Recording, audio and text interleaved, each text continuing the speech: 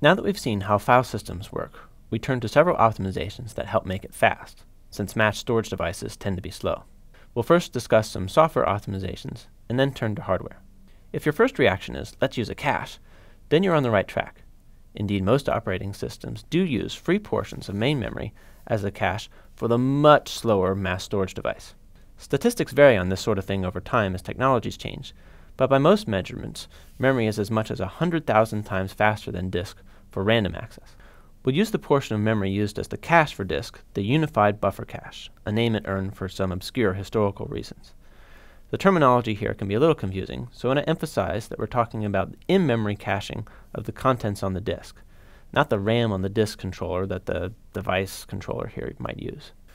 When data is read from disk, it is stored in this unified buffer cache so that subsequent reads can find it there instead of having to bother the disk again.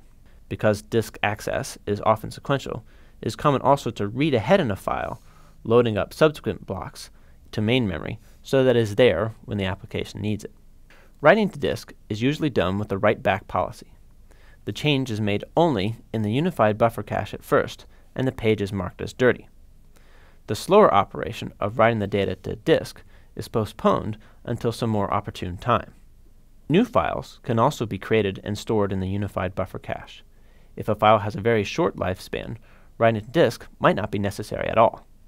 The existence of the in-memory cache means that a call to write isn't a guarantee that the data is changed on the disk and will persist. The changes are only reflected in memory. The advantage is that the program gets to resume faster and get on with its work. The downside is that if the system crashes before the write has been made to disk, then changes will be lost.